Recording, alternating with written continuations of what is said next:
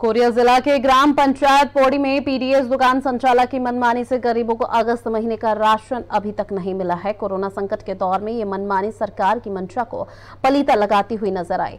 सरपंच के मुताबिक दुकान संचालक ने समय पर पैसा जमा नहीं कराया जिससे राशन का आवंटन नहीं हो पाया।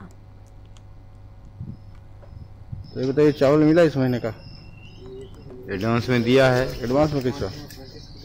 कार्ड में। कितना? पंद्रह किलो। कई सदस्य हैं पाँच. तो वो बाकी चावल बोलो कि आएगा तो अभी तक नहीं आया अभी तक नहीं आया है कोटा पे तो कुछ लोग बता रहे हैं सोसाइटी में चावल रखा हुआ है लेकिन नहीं दे रहे हैं हाँ नहीं देते हैं उसको मैं तो बड़ी इमरजेंसी में मांगा हूँ उससे कि मैं खाने के लिए मेरे पास नहीं है।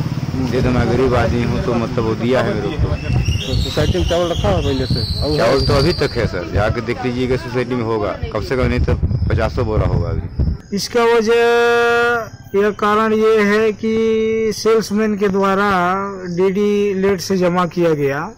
और इसी कारण से मैं लगातार एसडीएम मैडम से कल भी मैं गया था परसों भी गया था और ज़िले में खाद्य अधिकारी से भी बात किया हूँ। वो लोग बोले आप सेल्समैन के द्वारा थोड़ा लेट से डीडी जमा किया गया है। इसी कारण से चावल जाने में लेट हो रहा है भंडारण होने में लेट हो रहा है। दो दिन के अंदर चावल बोल रहे हैं एसडीएम मैडम कि आ जाएगा। अभी मैं तुरंत जिला में लगाया था, बोले आज चावल भंडारण हो जाएगा, ऐसा मेरे को जानकारी मिला है।